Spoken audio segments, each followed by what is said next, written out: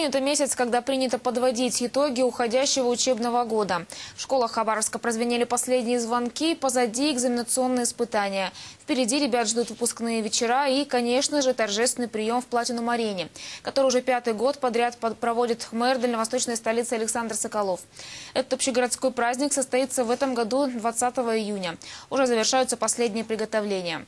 О предстоящем торжестве, а также об итогах ЕГЭ сегодня мы поговорим с начальником управления образования Ольгой Тен. Ольга Яковлевна, здравствуйте. Здравствуйте. Ну, начнем с более серьезной темы, с итогов ЕГЭ. Как в целом их можно охарактеризовать?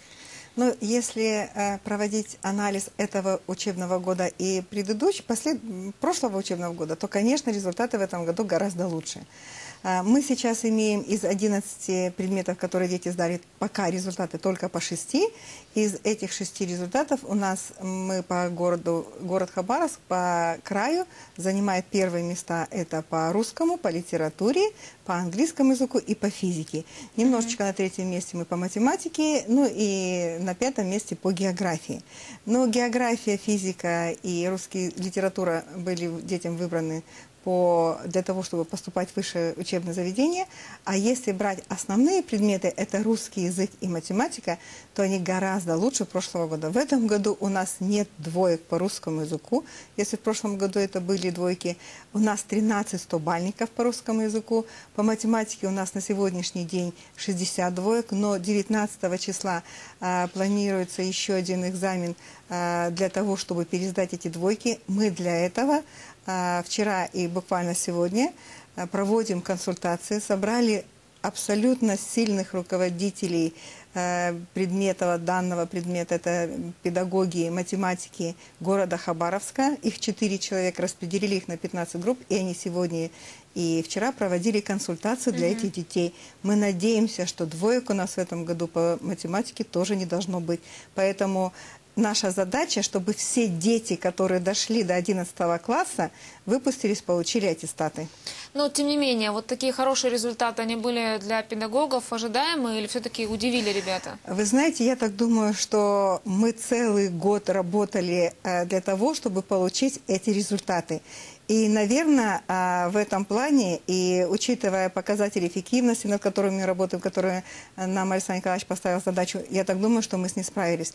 Но самая основная задача – дать качественное знание детям. В этом году результаты у нас хорошие. Но, тем не менее, с каждым годом ужесточаются правила проведения единого государственного экзамена, и в этом году не обошлось без нарушений. Были удаления с ЕГЭ. Вот угу. все ли получи, получат в итоге аттестаты дети? А, значит, аттестат у нас получают дети, которые перешли порог по русскому по двум обязательным предметам. Это русский и математика. А, у нас одного ребенка удалили а, с экзамена по выбору, это он сам себе, эм, будем так э, говорить, что запретил идти в высшее учебное заведение, куда угу. он хотел. Теперь, получается, он должен выбрать что-то другое, где он сдал дополнительные экзамены. А то, что касается э, аттестатов, то вот если 60 человек, которые не получили не перешли порог в этом году, перейдут порог, мы надеемся на это, 19 числа будет экзамен, то 100% все получат аттестаты.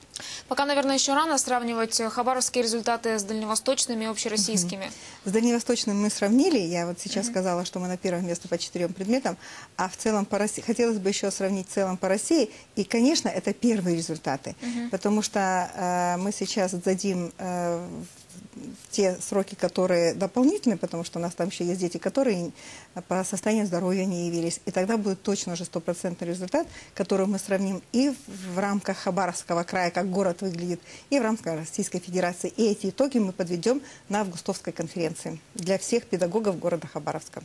Уже совсем скоро у школьников будет выпускной. Сколько человек приглашены в этом году на бал в Платину Арену? У нас в этом году выпускается 2400 э, выпускников, и они все абсолютно приглашены э, на выпускной бал, который будет проходить 20 числа, на который мы приглашаем э, губернатора Хабаровского края, э, где будет очень э, хорошая программа для всех выпускников. Э, я так думаю, что то мероприятие, которое мы готовим им ежегодно, мы хотим, чтобы э, оно им запомнилось на всю жизнь. И для этого мы прикладываем все свои старания. Но, тем не менее, откройте нам тайну, какие сюрпризы ждут ребят? Э, Сюрпризы ждут разные. Э, У нас это мероприятие начинается э, вообще э, 20 число, оно начинается с обеда. Э, Мероприятия праздничные. А, Идет у нас городская акция «Поздравь выпускника», поэтому любой житель города Хабаровска, идя по нашим красивым улицам, может э, письменно поздравить выпускника. А На определенных точках будут э, э, карандаши, листы бумаги, и затем мы эти все листы привоз- привозим в Платину Арену. Затем с 18 до 20 это поздравление в образовательных учреждениях вручаются аттестаты. И с 22 до у- 5 утра у нас проходит э, прием мэра всех выпускников города Хабаровска. Он разделен на несколько частей. Первая – это торжественная часть, которая пройдет с 22 до 23 в Платину Арене. Затем развлека- танцевально-развлекательная программа у нас идет с 23 до 2 часов.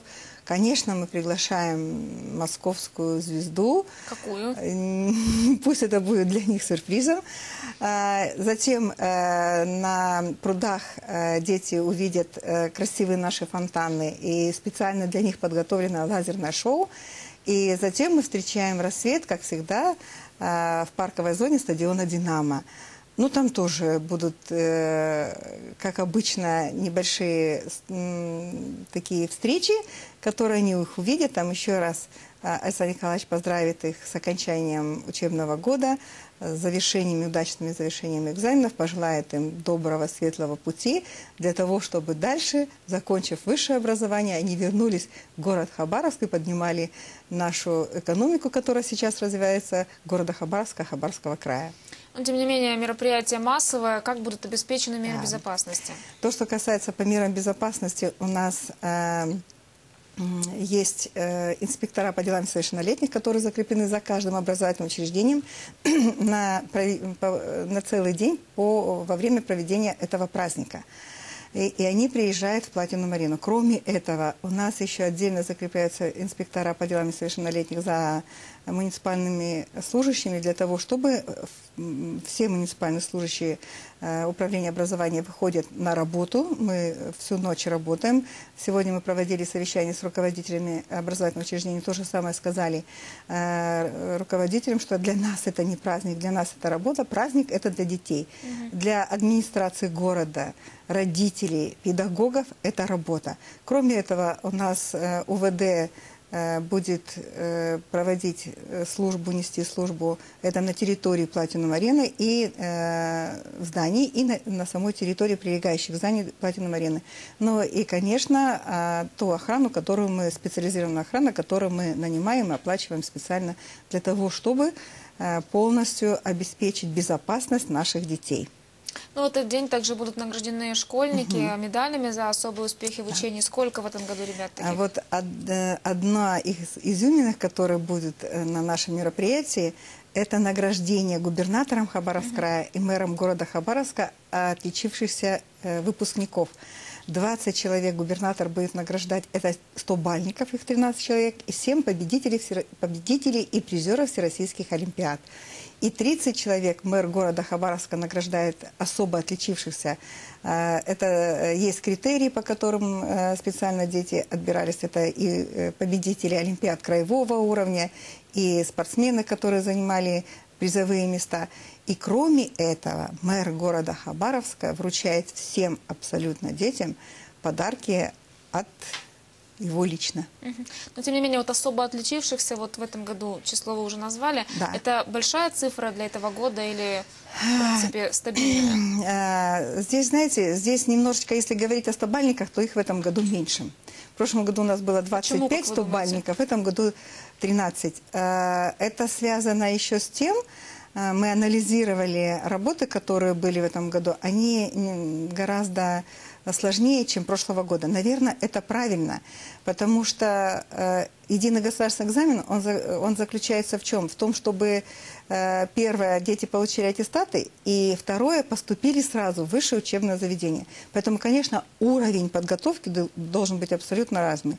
Очень правильно принято решение, что э, снизили э, тот балл, который дети должны перейти, порог, И, наверное, правильно сделали, что вот э, такого повышенного э, уровня э, были задания для того, чтобы действительно дети, придя в институт, показали хорошие свои знания, которые им дала школа.